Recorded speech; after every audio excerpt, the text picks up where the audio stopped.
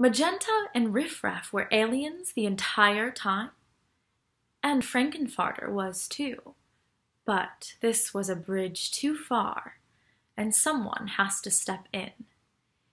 This is the end of the line, and Frank-N-Furter knows it.